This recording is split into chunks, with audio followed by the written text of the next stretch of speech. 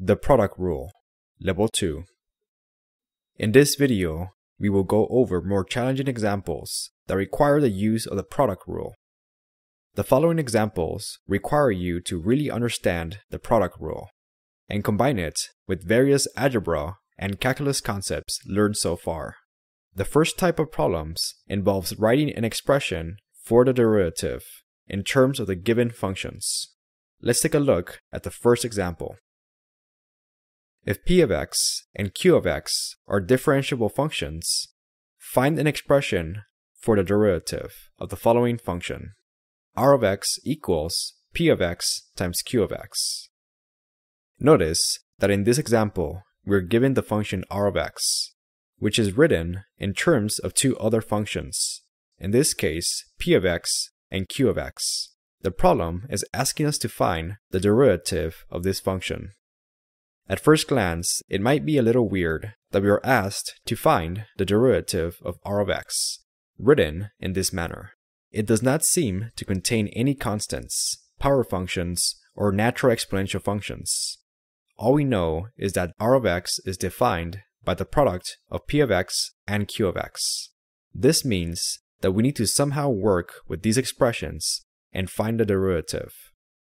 Since r of x is defined by a product of two functions, it is natural to apply the product rule to find the derivative of r of x. So we will assign p of x as a first function and q of x as a second function. With these assignments, we go ahead and apply the product rule. The derivative of r of x is going to be equal to p of x times q prime of x plus q of x times p prime of x. And this is the final derivative. At first, it might be hard to wrap your head around this. If we knew what p of x and q of x was equal to, we would still find the derivative in this manner. All we are doing here is finding an expression for the derivative of r of x, which was defined by two distinct functions, p of x and q of x. If we knew what p of x and q of x were equal to, then we would just substitute them into our expression.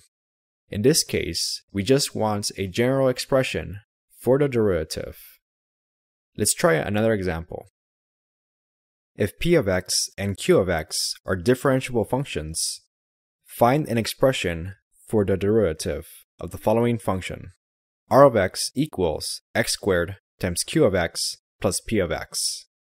Alright, notice that we now have a function r of x defined by a power function along with the functions q of x and p of x. Similar to the previous example, we are asked to find an expression for the derivative. So we go ahead and take the derivative of this function term by term. For the first term, we have a product of two functions, in this case, x squared and q of x. Since we have a product of two functions, we need to apply the product rule. We're going to assign x squared as the first function and q of x as the second function. Applying the product rule, we obtain x squared times q prime of x plus q of x times 2x.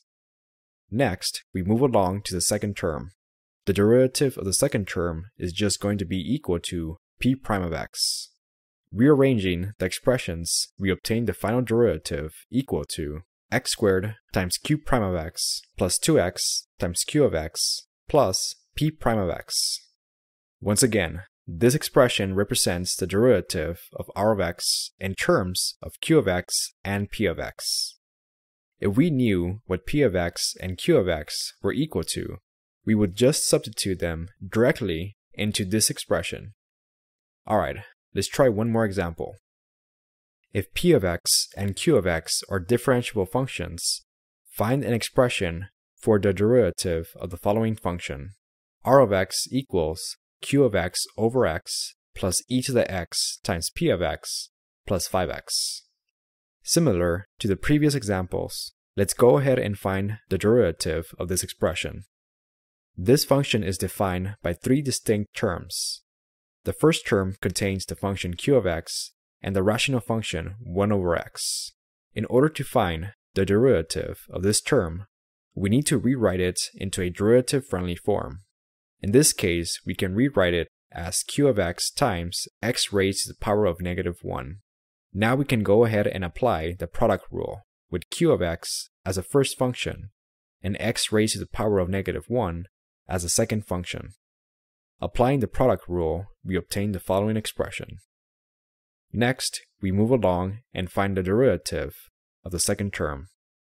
Here, we also have a product of two functions. In this case, the natural exponential function times p of x. So we go ahead and apply the product rule with e to the x as our first function and p of x as our second function. Applying the product rule, we obtain the following expression. Lastly, we find the derivative of 5x, which is just equal to 5. Simplifying and rearranging the terms, we obtain the final expression for the derivative, which is equal to negative q of x over x squared plus q prime of x over x plus e to the x times p prime of x plus e to the x times p of x plus 5. Alright, now let's try a completely different type of problem. Suppose g of 2 equals 3, g prime of 2 equals negative 2, h of 2 equals negative 1, and h prime of 2 equals 4. Use this information to find f prime of 2, where f of x equals g of x times h of x. Notice that we are given values for the functions g and h, and their respective derivatives, evaluated at x equals 2.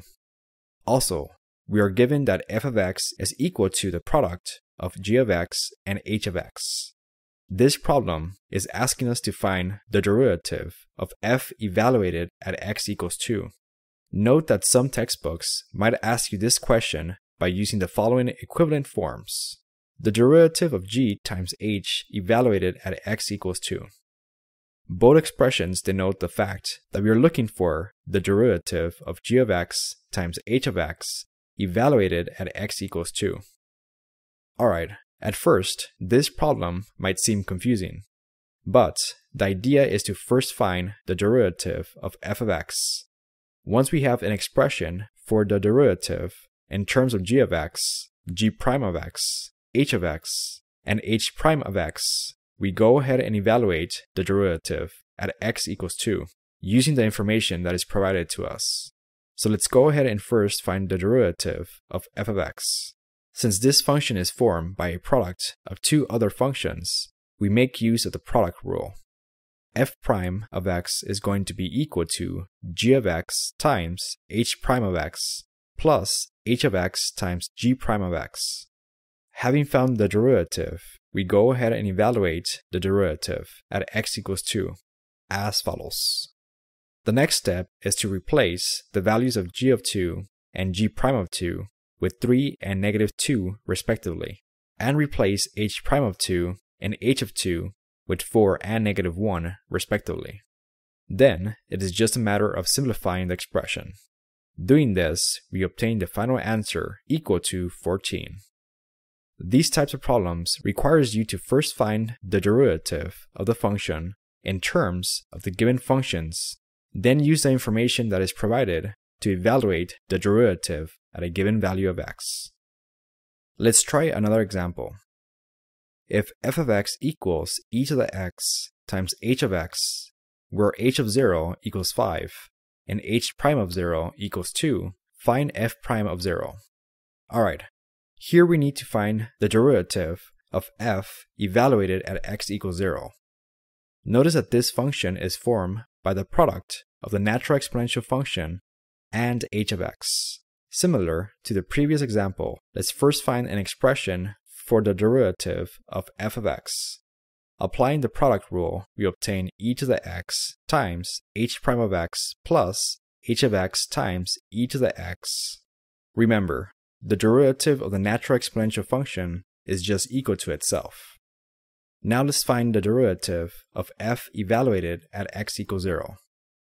Notice that we have values for both h of 0 and h prime of 0. So we go ahead and substitute those values into our expression. We also want to evaluate the natural exponential function at x equals 0. Doing that, we obtain the following. The final step is to simplify the numerical expression, obtaining 7 as our final answer. These types of problems might seem a little intimidating at first, but as long as you understand that we're just looking for the derivative in terms of other functions, then the entire problem just becomes a standard find the derivative problem.